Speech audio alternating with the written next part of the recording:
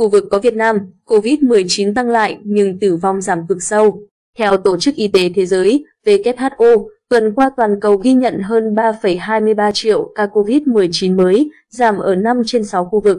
Chỉ tăng nhẹ 3% ở Tây Thái Bình Dương là khu vực dịch tế WHO xếp Việt Nam vào.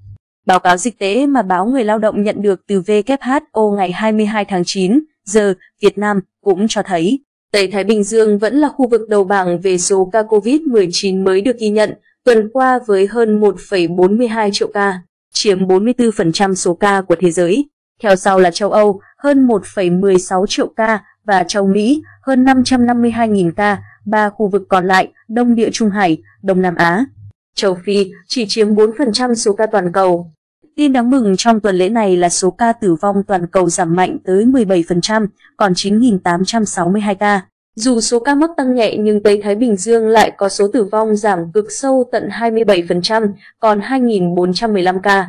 Chủ yếu ghi nhận tại Nhật Bản 1.162 ca, Hàn Quốc 377 ca và Trung Quốc 360 ca.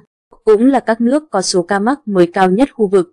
Sau nhiều tuần đối phó với tỷ lệ tử vong do COVID-19 thuộc hàng cao nhất thế giới, có lúc lên tới 1,6 ca trên 100.000 dân.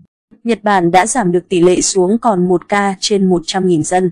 Trên bản đồ số ca mắc mới, Việt Nam vẫn được đánh dấu bằng màu vàng sậm, mức thứ hai từ thấp nhất lên, tức số ca mới từ 10 đến 50 ca trên 100.000 dân.